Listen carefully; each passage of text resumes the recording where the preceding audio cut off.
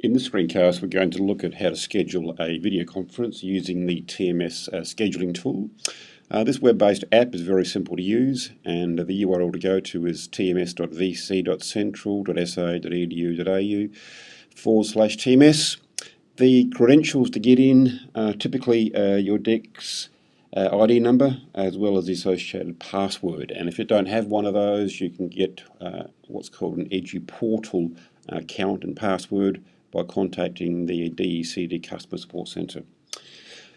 Uh, with the scheduling a video conference, there really isn't too much involved. Uh, what you need to do is to consider firstly uh, the, the, title of um, the session, um, which would make sense to you and participants, um, the actual date of the session, um, the duration of the session, so if it's going to be a one hour session, which is the sort of time which uh, we recommend as being an optimum time um, for a video conference.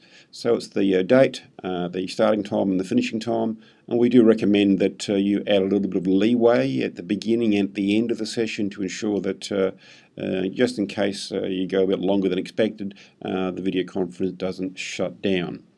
the second aspect, apart from uh, choosing a date, for example, is to look at what features do you want within the video conference itself. And if we look down here, we can see we have what's called continuous presence, which means all sites which are in the scheduled conference will be seen on screen, and the site which is talking will move to a larger window within the screen.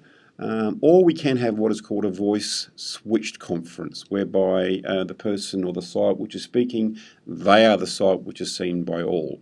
It's a matter of preference, and uh, sometimes with very large conferences, to have a continuous presence is quite difficult to see um, in smaller windows uh, who are at those sites.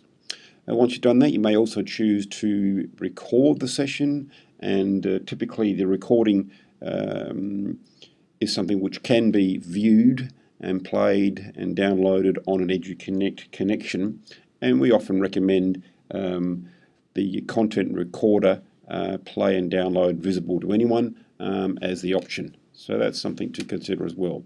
Once we've done that, we really need to add our participants and we need to think about who's going to be in this video conference and you need to include yourself um, as a, a participant as well. And so we've got to go to endpoints and rooms and we'll look for where the participants may be. So I'll schedule this one here, click on the right hand arrow, so that moves um, that site to the right hand side. We also may wish to have a conference with the Coober Pedy Area School and just click on the right button and that moves across to the right hand side.